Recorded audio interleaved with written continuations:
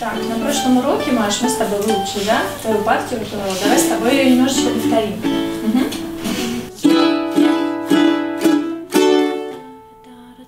Мы сегодня с вами поработаем над увеличением темпа, хорошо?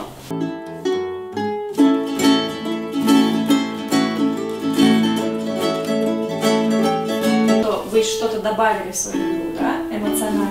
Сейчас Лера прибежит. Вместе, в одном бенде, в одном ансамбле мы стремимся к тому, чтобы быть одним организмом.